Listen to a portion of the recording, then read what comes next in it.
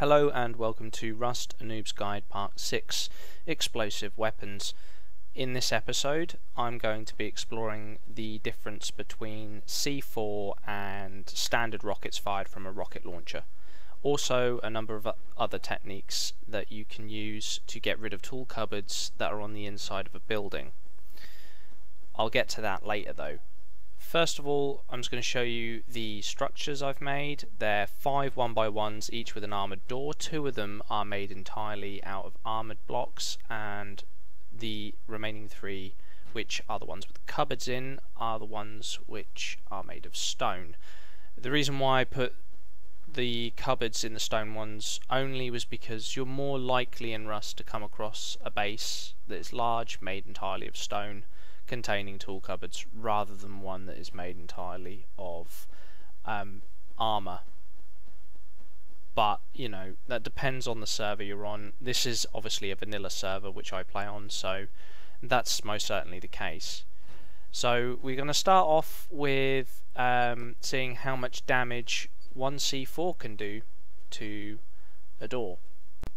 Now it is 2C4 for one door, but I did want to show you exactly how much 1c4 does in damage which as you can see here is 440 damage. So that's how much damage 1c4 placed directly on an object will get you. Different types of uh, wall and door are more resistant to certain types of damage but when it comes to C4 it's generally the same all the way across the board um, as you can see here, there was no damage to the exterior framework or to the wall.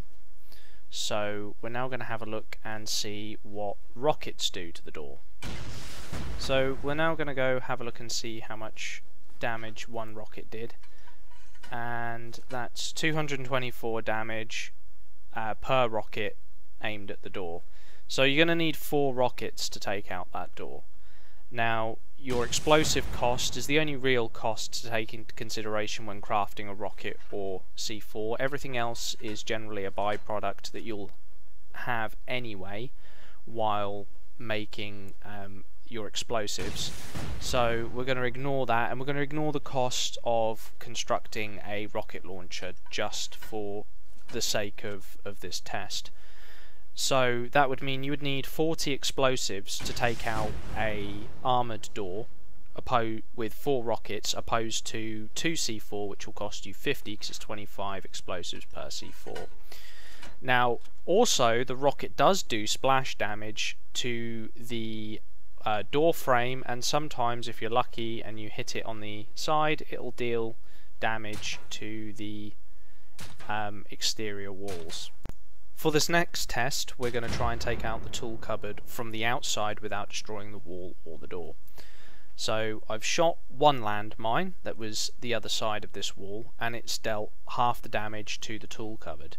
So we know the explosion from the landmine can go through the wall. So two landmines will definitely take out a tool cupboard. Now obviously if you don't have access to the tool cupboard, you cannot place them within that radius. However, sometimes people do put landmines around where their tool cupboards are, and I have encountered that myself on this server.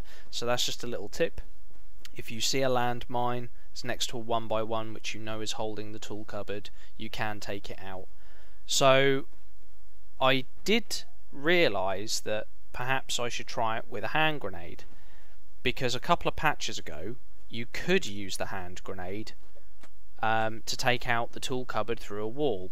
Unfortunately during this video I, I was struggling to keep the hand grenade in a specific slot uh, spot without it rolling down the hill towards the ocean. So I wasn't really able to get the explosion close enough to the wall to really have any serious effect. But by the looks of it it didn't deal any damage to the wall. So perhaps that's been patched out of the game so hand grenades are no longer a, a way that you can take out a tool cupboard through the wall. So this now moves us on to the last one. Uh, we're going to try a rocket on this wall here and we're going to see how much damage that does. Now as you can see the rocket doesn't have an explosion that impacts all the way through. I thought that was quite interesting considering the splash damage per rocket. And you might be wondering to yourself, what's the whole point of doing this? Well, under the new patch, you can only have one tool cupboard placed within a certain radius of another tool cupboard. So you can no longer stack three or four tool cupboards into one building. You'll either have to stack them outside the building in one by ones like this, or you will have to stack them like one per building, which means quite often you'll come across buildings where the tool cupboard is close to an exterior wall. Now here you can see the detonation from 2C4 has taken out the exterior wall and along with it the tool cupboard. Now obviously no tool cupboard means you can build there. You can block up the front door, you can block them in, you can put a tool cupboard outside it, you can build a ladder up to the roof or into an open window. You can modify the building to make it easier and cheaper for you to raid. So now we're just going to see how many more rockets it takes to take down one wall. And I've lost count here, I think it's something like three or four. Um, but you know, again, rockets are relatively cheap compared to the C4.